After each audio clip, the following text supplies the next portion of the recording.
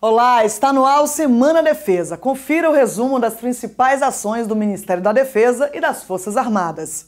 Assim como ocorreu no primeiro turno das eleições, as Forças Armadas auxiliaram a Justiça Eleitoral no segundo turno em operações de segurança e no apoio logístico.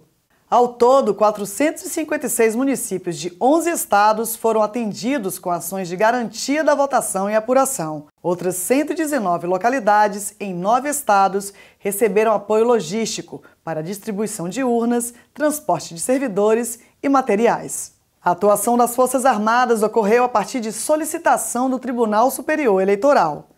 Em apoio ao Corpo de Bombeiros, a Marinha do Brasil efetuou um transporte aeromédico de emergência no Pantanal Mato Grossense.